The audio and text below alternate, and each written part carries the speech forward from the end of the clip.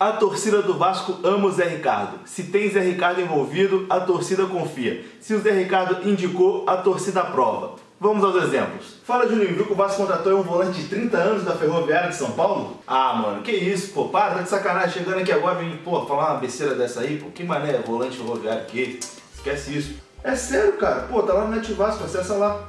Ah, tá de sacanagem. Na moral, essa diretoria é muito competente, cara. Pô, um volante de 30 anos da Ferroviária de São Paulo. Vai precisando de quê? De um camisa 9 lá pra fazer gol. Os caras me trazem o quê? Um volante lá da porra das Campeonato Paulista, time pequeno. Sendo que o Vasco tem Concedei, tem Bruno Paulista, tem um monte lá pra botar pra jogar, tem os moleques da base pra jogar. Porra, aí vai me contratar jogador nada a ver, pô. Isso é coisa de empresário, isso é coisa do presidente. Ele não vai, na moral, vou xingar todo mundo nessa porra desse Twitter agora. Porra, mas foi indicação do Zé Ricardo, cara. Não, pensando bem, né? O Vasco tá precisando aí de um volante.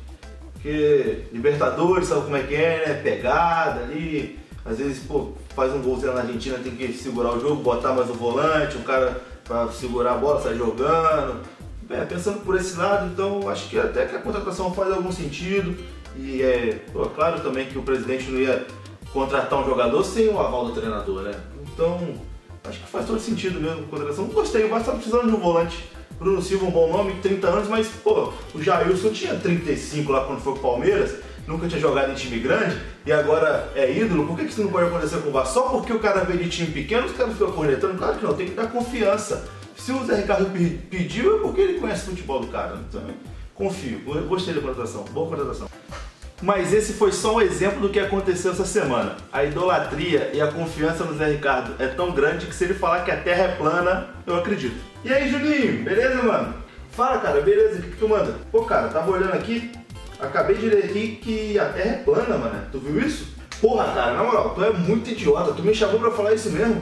Cara, cientistas renomados estudaram a vida inteira e comprovaram que a Terra é redonda. Aí você lê qualquer besteirinha na internet aí que a Terra é plana e sai divulgando igual um idiota. Porra, nunca ouviu falar em fake news, não? Isso é fake news, cara. Isso é mentira. Mas você acredita numa baboseira dessa tá reproduzindo? Ainda me chama pra falar uma besteira dessa, cara? Pô, pelo amor de Deus, na moral. Se for falar essas besteiras, pô, nem, nem conversa comigo, cara. Pô, me deixa quieto aqui, na moral. Porra, mas foi o Zé Ricardo que disse, cara. Quê? Ah, não, assim, se tu for pensar bem, é, quando você tá andando de barco, por exemplo, você vai indo reto, reto, reto, reto, não chega uma hora que você cai, né? É, até que eu acho que pode fazer algum sentido. Porque quando você pega o avião também, você pega o avião, você tá lá em cima, você olha na janelinha, tá tudo plano, tá tudo reto. É, talvez, não sei, talvez possa fazer algum sentido, né? Esse, esse estudo aí. Quem sou eu, né? Quem sou eu para falar se a Terra é plana ou redonda. Eu não sei. Você anda de carro também, você vai numa reta grandona assim, não tem uma hora que o carro faz assim e cai, né?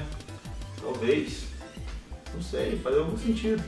Cara, eu gosto tanto do Zé Ricardo que eu acho que eu vou chegar em casa um dia e vou me deparar com a seguinte situação. Fala, filhão! Oi, pai.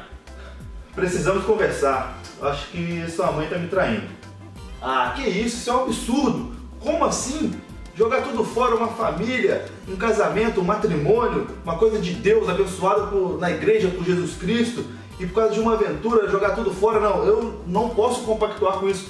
Eu desconsidero, desconsidero ela como mãe a partir de agora, não tenho mais mãe, agora pai, só eu e você, eu e você só, não tenho mais mãe, acabou.